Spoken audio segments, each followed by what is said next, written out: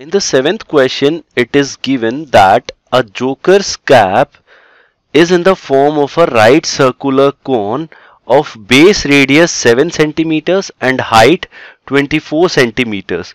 Then it is asking to find the area of sheet required to make 10 such caps. It means right circular cone in the shape of right circular cone joker's cap is there with base radius 7 centimeters height 24 centimeters and we have to find the area of sheet required for making 10 such caps. So uh, as you can uh, as you know on the cone the cardboard will be applied or the sheet you can say that sheet will be applied only on the curved part.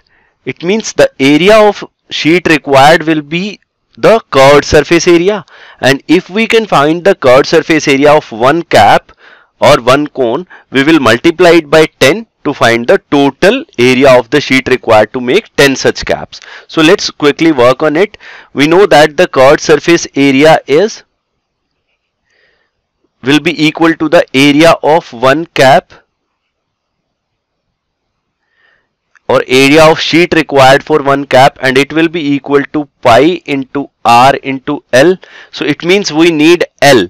So you can see again a right triangle is there. So we will apply the Pythagoras theorem. So L square will be equal to R square plus H square. So L square is equal to 7 square plus 24 square. So L square is equal to 49 plus 576 and this comes out to be 625 we will take square root on both sides. So L will be equal to 25 so L becomes 25 centimeters.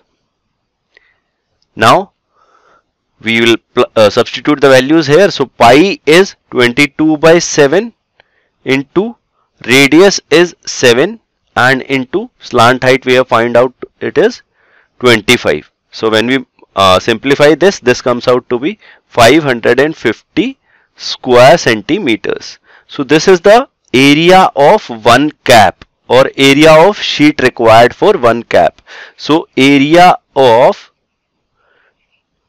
10 such caps or uh, the sheet required for making 10 such caps will be, we will multiply the area of one cap by 10 that is 10 multiplied by 550 so it comes out to be 500 and uh, 5500 square centimeters.